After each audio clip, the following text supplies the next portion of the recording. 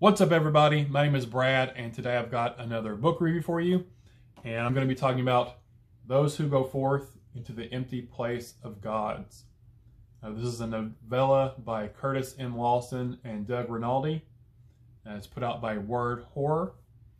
Um, I was lucky enough to get an ARC copy of this from Curtis uh, for review. He signed it for me, which is really cool. Um, I believe the release date for this is January 15th of this month. Uh, so in about a week from now, it will be available for purchase. Um, I'm going to go ahead and read the back uh, description real quick, and then I'll give you my thoughts and stuff on the book. Uh, Brewster Gilligan, an underachieving genius, believes that his loss on a television quiz show is the worst thing to ever happen to him. Little does he know that the phrase he answered with, a bit of trivia he remembered from his dead grandfather, was a scrap of forbidden knowledge that would trigger a cabal of dangerous immortals to hunt him down. Uh, so first and foremost, I want to start with the introduction uh, in the book, and it's by Jared Collins. I believe Jared Collins is a musician.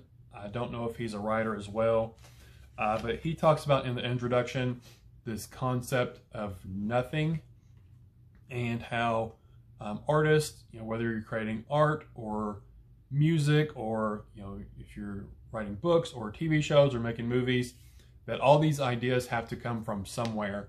Um, you know, and basically they're coming from nothing. And nothing is, it's not just nothing, it's actual, this thing, this maybe entity or something where all these ideas are being drawn from. Uh, he sort of describes it like, um, you know, whoever's coming up with the idea, you know, they're reaching back in their mind and they're actually physically grasping and pulling this idea from nothing into their mind where they can, you know, write it in a book or compose it to a piece of music or a piece of cinema or whatever it may be. So it sort of describes this concept of nothing is sort of something we can't even really comprehend. Uh, sort of the opposite of nothing, it's everything all these ideas and things, you know, whether it's an architect uh, creating a design for a skyscraper, you know, he got the idea from nothing for what it should look out, what it should look like, how it should be laid out. And it's sort of a fascinating concept. And in here, he, he talks about, um, like I said, he was a, he's a musician and he wrote a song called The Butcher of the Nine Lunar Mansions. Uh, and his band is the Mississippi Bones. And I actually went to go listen to this song uh, just a few minutes ago before I re started recording this. And I'll put a link to the song down in the description too. Uh, but at least the name of the song, because he said the lyrics don't have anything to do with sort of the, the title, but at least the name of the song was sort of the concept that they went off for this book. And I liked what he said at the very end of the introduction. It's sort of chilling, uh, and when you think about it, uh, it says, "Still don't believe me? Then trust your mom. She's been telling you the truth since you were a scared little kid hiding under your covers at bedtime. Remember? She told you nothing's in your closet. Nothing's hiding under your bed. Nothing's waiting in the dark to come and get you. And she was right. Uh, so, like I said, this, the concept of this book is sort of playing off nothing, of pulling things from nothing, you know, out in the cosmos or wherever this nothing would be. And that's sort of what this book plays off of. Uh, like I said, our main character here is Brewster Gilligan. Uh, he's basically a genius, uh, but he hasn't really done anything with his life. Um, you know, he goes to play trivia at the bar with his friends. Um, you know, he drinks beer. His apartment's not that great. You know, he doesn't. He's not rich. He doesn't have a bunch of money. Um, he's a bit of a narcissist. Uh, he believes he's better than everybody he's around because he is so much smarter than everybody. Uh, but like it says on the back, he's on this quiz show, sort of like Jeopardy or something along those lines. And he's going for this record of being on there the longest. And, you know, he utters this phrase as one of the answers.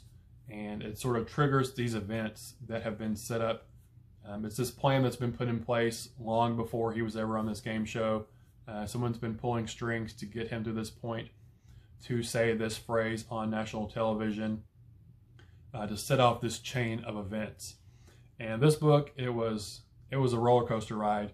Uh, sort of, you know, the beginning where Brewster's on this television show, we're sort of inching up and inching up the roller coaster. And as soon as he utters this phrase um, into existence, it's like we drop off and it's just a wild, unstoppable ride after that till we get to the end. Um, it's, like I said, super imaginative. Um, there's things in here I haven't read really anywhere else. Um, so lots of creative props for their imagination for this.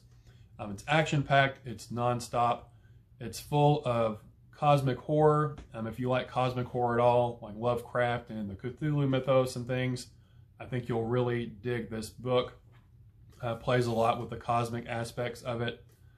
Um, there's some great kill scenes in the book that I really enjoyed. Um, really original things I hadn't really seen before anywhere else. And they were super bloody and graphic and gory, but they had that nice cosmic twist to them that sort of made them otherworldly. You know, it wasn't just someone getting shot or someone getting stabbed. Um, you know, graphic things happen to them, but otherworldly things happen with the deaths that I really enjoyed and appreciated. And I liked that this was a novella um, because Brewster Gilligan, our main character, he's not a very likable person. Like I said, he's a narcissist. He thinks he's better than everybody. Uh, he's a bit of an a-hole. Um, so it being in the format of a novella, I believe it was like 92 pages or so. Yeah, 92 pages. Um, being it at that length, uh, it was more palatable to have our main character being a person that we don't really care for, not because he's poorly written or anything. The writing is great. It's just because he's not a likable character. So we're not, well, we sort of do root for him to win because the people he's up against are even more detestable characters. Uh, but it was very, it was more palatable to have that in a shorter book than like a 400 page novel and things. Like I said, the concepts in here are wild and super imaginative. Uh, the, the nine lunar mansions, uh, there's sort of guardians to those. And the ones we did get to see, I really liked all of those. Um, I don't really want to give too much away, uh, but it sort of reminded me of, there were sort of superheroes with these powers. And each one, each individual person was different, uh, but there's sort of these, like it says on the back, uh, these immortal beings who are guarding something. And they were each uh, they were each one separately was really cool. Um, how they were described, what they looked like, what their sort of powers were. And overall, I really enjoyed the story. Um, I gave it four stars, four out of five stars. Um, like I said, it's a wild, wildly imaginative, super creative. It was action-packed, a lot more action-packed than I was thinking. Um, you know, sometimes with Cosmic Horror, it's sort of a slow burn, and then you get to the big reveal of the, the entity or the creature or God or whatever at the end.